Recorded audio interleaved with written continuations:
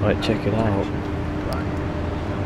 Here we have the magnet rotor disc that's been completely.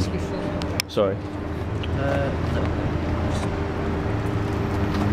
it's been completely covered in resin, and that's pretty much as much as you need.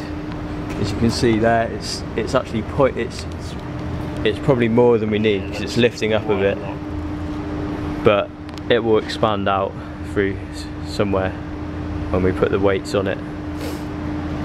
So push that down and start getting that soaking through nicely.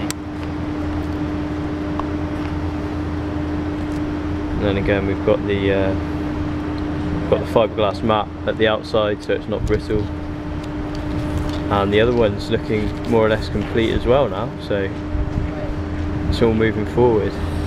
Is the stator ready to be poured? Yep.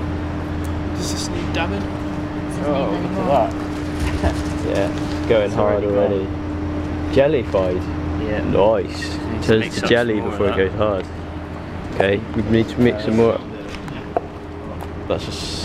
You haven't got a bin, have we? Um, no, but we can bodge one.